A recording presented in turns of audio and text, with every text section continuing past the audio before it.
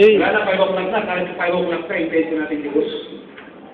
Intention natin si Mayor at siya daw ang magbibigay ng come. So, before we, so, hindi na po talaga mag-present yun kasi may papagawa ko kami ng activity sa inyo. Meron pa, hanggang alas 7 tayo mamaya dito. Oo, nakahanda na ng dinner nyo, nakakanto, no? Ma? Marami siguro nagmamadali ano pinapanood nyo? Sa Albert? Tingnan. Okay. So, uh, yung pas barangay po natin,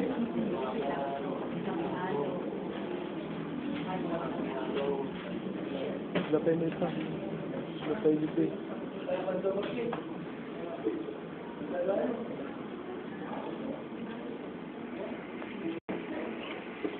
So, mga nakalaang na training po, pinabot po kami ng alas 6. Yung iba nato na yung alas 6.30.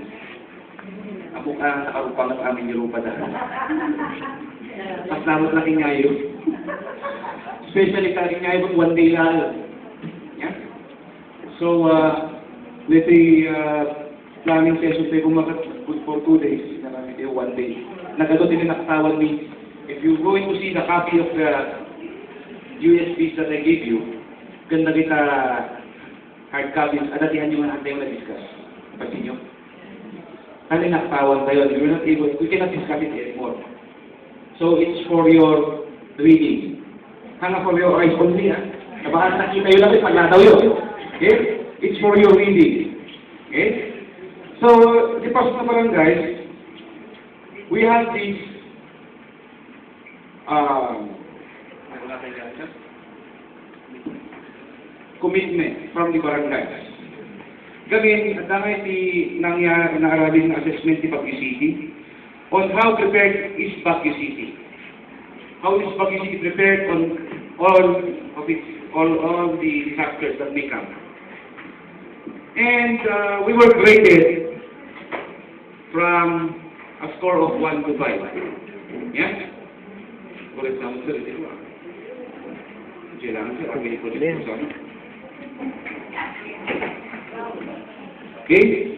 We were given a grade from a scale of 1 to 5. 1 being the needs improvement, 2 poor, 3 moderate, 4 good, and then 50 is excellent ba yun? no? Yun po yun? Okay? And what do you think Pete Baguio City? Three. Ma'am? 4? Three. Talaga ma'am. Sa iba? 5 each. Talaga ma'am.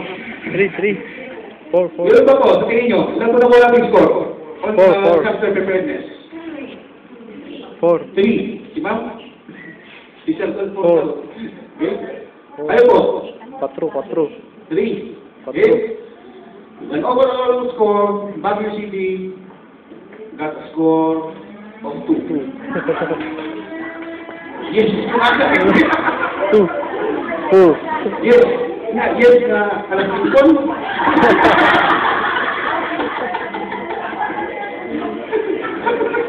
Yes. Yes. Yes, uno, yes, katulad pinaalam kayo. Okay? Because one of the requirements in, uh,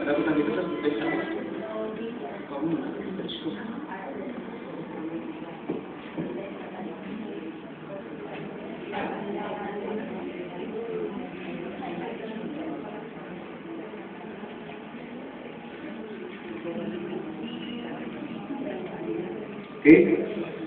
One of the requirements kami sa Kunada is we have to have a pledge of commitment from the NGOs or private groups and lower uh, government units, which is Barangay. From LGU to the barangay. Okay?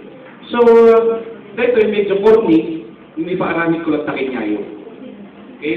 Since sila duman na aramid naman. So, first and foremost, paruwa yung ako sa pencil bench ng technique. You bring out the pencil bench, please. Ah, paruwa Okay? Now, we ask everyone to please rise.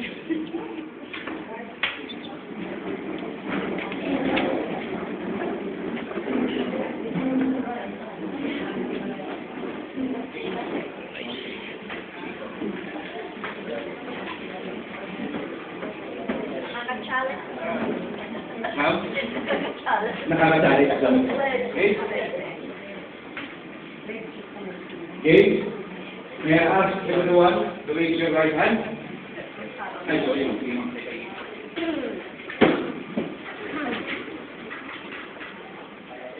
Raise your right Raise your right hand and uh, repeat after me. Repeat after us. Okay? We, the officers and members We, the officers and members of the Barangay Disaster Risk Reduction of the Barangay Disaster Risk Reduction and Management Council and Management Council do hereby commit do hereby commit to build a climate to build a climate adaptive adaptive and disaster resilient communities. community. With this, with I we, the officers and members, with this commitment, This commitment we intend to intend to address challenges and issues address challenges and issues confronting concerned barangays and their constituents in mitigating the risks in the risk. And impact of human-induced human and natural disasters. natural disasters. Craft a common agenda.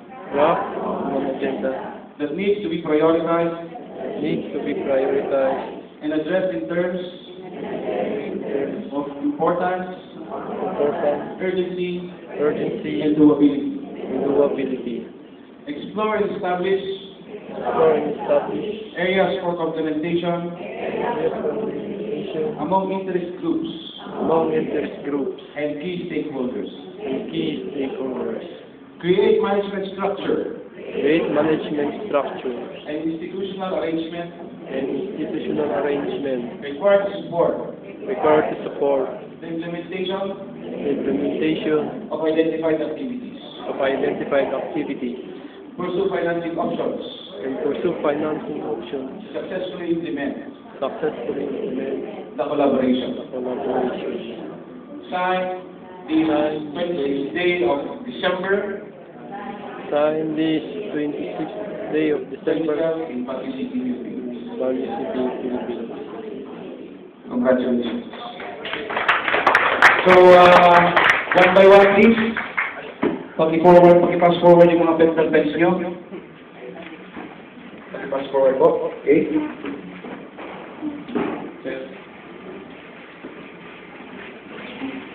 Okay. One nine, per eight, per row pala. Iikot po kayo doon. I-firma niyo yung pangalan nyo, together with your barangay, kung anong barangay po kayo, and then you sign your name. Okay? Pag po white board mo yung kagamitin natin, peso peso. Ma'am, mauna po kayo. Sino po kasama yung sa barangay? Peso na po kayo.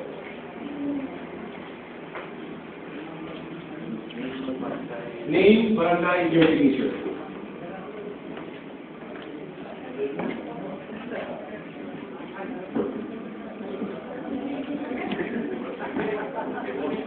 Pledge of commitment.